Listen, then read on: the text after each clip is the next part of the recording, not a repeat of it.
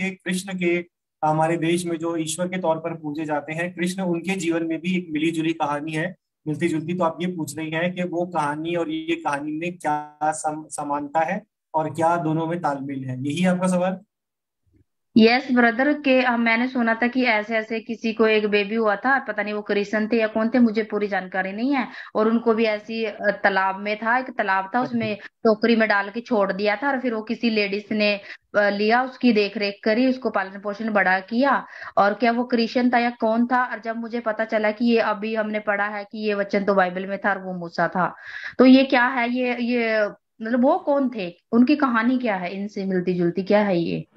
तो देखो कोई जब कोई भी बात हम पढ़ते हैं ना, चाहे वो किताब में हो, चाहे वो किसी के द्वारा बोली गई हो, या कहीं से आपने सुनी हो, उस बात की सत्यता को जांचने, परखने के लिए आपको एविडेंस चाहिए होते हैं। आपको सबूत चाहिए होते हैं। एविडेंसेस के आधार पर ही कोई किसी भी बात को सत्य या मिथ्या, यानी झूठ जो है वो माना जाता है। जब हम बात करते हैं मूसा की तो मूसा की जो कहानी हम पढ़ रहे हैं इस कहानी के लिए आपको एविडेंस चाहिए। आप कहते हो कि जी हम तो मूसा की कहानी को कैसे माने हमें एविडेंस बताओ।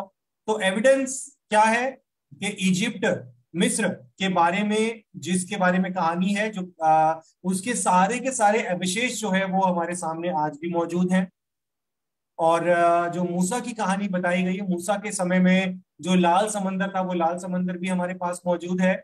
और जिसको दो भाग किया गया था यर्दन नदी भी हमारे सामने मौजूद है। वो सारी चीज़ें हमारे सामने मौजूद हैं। और मिस्र की वो सेना जिसको पानी में जिसको दफनाया गया था जो परमेश्वर ने जिसको डुबा कर मार डाला था उनके अवशेष भी वैज्ञानिकों ने पाए हैं वो बड़ी मात्रा में पाए हैं। इजिप्ट को कोई झुटला नहीं सकता। इजिप्ट को कोई झुटला नहीं सकता क्योंकि बड़े बड़े वहाँ पर उनके पिरामिड हैं और मूर्तियाँ स्टैचू सब वहीं के वहीं पड़े हैं। ठीक है लेकिन पास्टर जी। अगर हम बात करें या तथ्यों की तो तथ्यों के आधार पर जब हम कृष्ण या कृष्ण लीला जिसको हम समझते हैं जब उसका अवलोकन करते हैं उसकी जाँच करते हैं तो हमें एविडेंस के नाम पर क्या मिलता है? हमें एविडेंस के नाम पर एक नगर मिलता है। नगर है जिसका नाम द्वारिका है। लेकिन सिर्फ़ नगर होना काफ़ी नहीं है।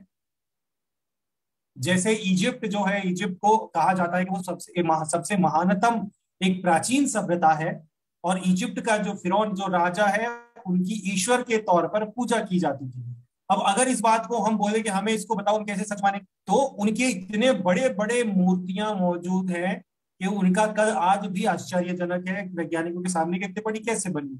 अब कृष्ण के बारे में जब हम इन तथ्यों को परखते हैं तो कृष्ण के जीवन को तो सबसे पहले तो हम जीवन को देखें कि कृष्ण जो है आ, हम जब देखते हैं कृष्ण लीला जब हम देखते हैं तो वहाँ पर इस प्रकार लिखा है कि वो मक्खन चुराते थे और गोपियों के साथ रासलीला करते थे। खैर ये तो कुछ अलग बातें लेकिन कुछ अहम बातें हैं कुछ अहम फैक्ट्स जो हैं वो ये है कि कहा जाता है कि कृष्ण ने अपने सबसे छोटी उंगली पर जो है एक पर्वत जो है उस पर्वत का नाम मुझे अभी याद नहीं आ रहा क्या नाम है? उस पर्वत को गोवर्धन पर्वत। गोवर्धन पर्वत को सबसे सबसे छोटी उंगली पर उठा लिया था।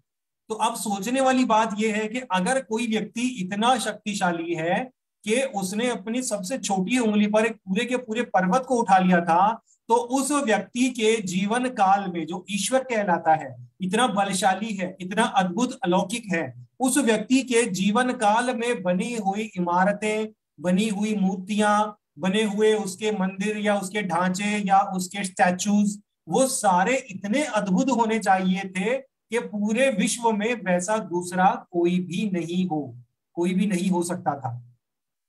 आफ्टर ऑल ईश्वर है ना? आफ्टर ऑल इतनी अद्भुत ताकतें हैं, इतनी ज़बरदस्त ताकतें हैं, जिनका कोई तोड़ नहीं है, जिनका कोई मार्ग नहीं है, जिनको, जिनका कोई किसी चीज़ से तुलना नहीं की जा सकती।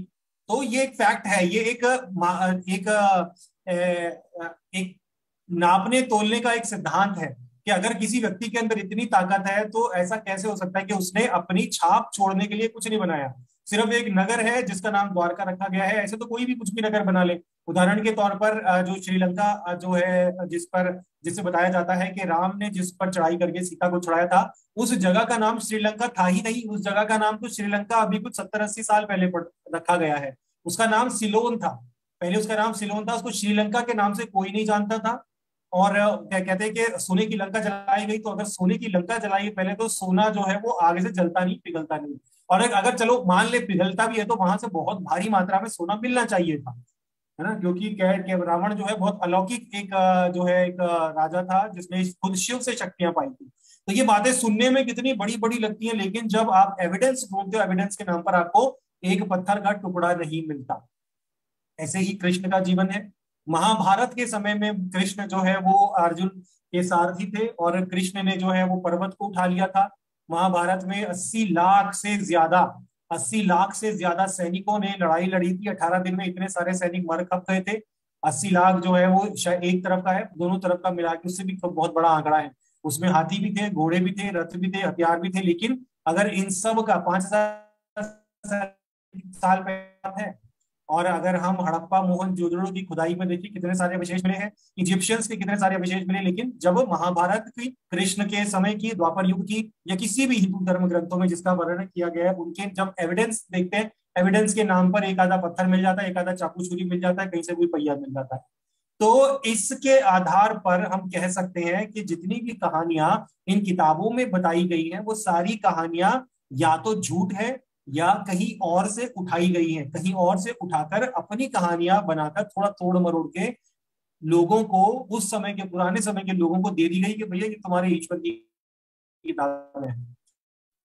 ठीक है ना? तो अब सवाल ये है कि अगर दो आपके पास दो कहानियाँ हैं एक ही जैसी, आपके पास एक ही जैसी दो कहानियाँ, एक कहानी में मूसा जाता है टोकरी में और बचाया जाता है, दूसरी कहानी में कृष्ण जाता है टोकरी में और कृष्ण बचाया जाता है। दोनों बचाए जाते हैं लेकिन अगर आपको दोनों में से ये परखना है कि सच्ची कौन सी है तो आप कैसे परखोगे? आप एविडेंस देखोगे कि किसके एविडेंसेस ज़्यादा स्ट्रांग है। जिसकी एविडेंसेस स्ट्रांग है, वो सच्ची है। जिसके एविडेंसेस कम स्ट्रांग है, वो कम सच्ची है। और जिसके एविडेंस बिल्कुल भी नहीं है, वो सरासर झूठ है, सरासर कल्पना है मन गणत है। ठीक है? तो अब जब हम बात कर रहे हैं मूसा की तो मूसा के समय में एक नहीं, सैकड़ों हज़ारों एविडेंसेस है जिनको दुनिया की कोई ताकत कोई विद्वान कोई साइंटिस्ट नकार नहीं सकता।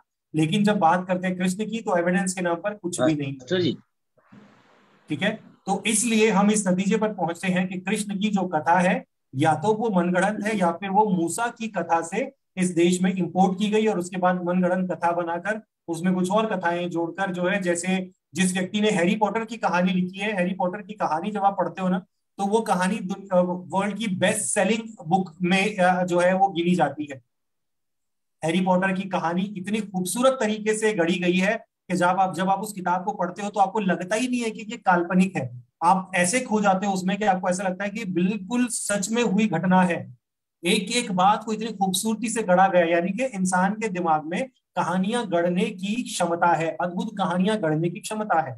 उस समय के विद्वानों ने भी इस क्षमता का इस्तेमाल किया और अद्भुत यहाँ वहाँ से बातें, लोकोक्तियाँ और सुनी सुनाई बातें सुनकर उनपे जो है अच्छी कहानियाँ गढ़ी और वो कहानियाँ गढ़कर पुराने समय के लोगों को दे दी, परोस दी कि भैया तुम्हारे ईश्वर की कहानियाँ हैं, इनको मानो, इनकी पूजा करो। लेकिन एविडेंस के नाम पर क्या है? कुछ भी नहीं। इसलिए हम इस नतीजे पर पहुँचते हैं कि कृष्ण की जो कथा है, वो कथा मिथ है। वो कथा जो है, वो इंसानों के द्वारा बनाई गई है और मूसा की कथा, क्योंकि उसके एविडेंस स्ट्रॉन्ग है तो मूसा की कथा सत्य है, सच है। ठीक है? मैं आशा करता हूँ आपको आपका जवाब मिल गया होगा।